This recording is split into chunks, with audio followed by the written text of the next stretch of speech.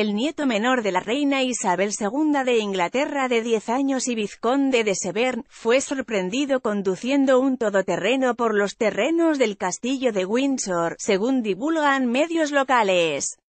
El niño, hijo pequeño del cuarto hijo de la monarca, el príncipe Eduardo, conducía, aseguró un testigo al diario Daily Mail, un coche de la marca Land Rover a considerable velocidad, por las inmediaciones del palacio, situado en el condado de Berkshire, al oeste de Inglaterra. Según la legislación británica, está prohibido que alguien sin licencia de conducir se ponga al frente de un vehículo en la vía pública, aunque la restricción no afecta a recintos privados.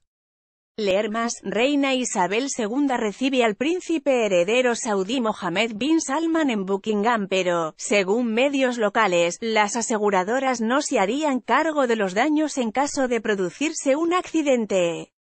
El octavo nieto de Isabel II y el duque de Edimburgo se encontraba en el castillo de Windsor, donde el próximo 19 de mayo tendrá lugar la boda de su primo.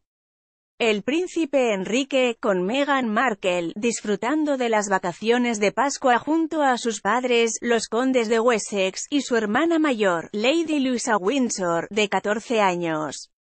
El domingo se celebró la tradicional misa de Pascua en la capilla del castillo, en la que la familia del conde de Wessex estuvo acompañada por los duques de Cambridge, la princesa Ana,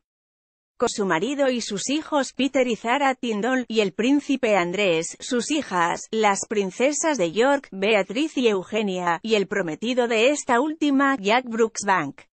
Leer más Commonwealth comienza a plantearse quién sucederá a Isabel II como cabeza no acudieron al oficio religioso, sin embargo, el príncipe Enrique y su prometida Meghan Markle, con información de FHVI.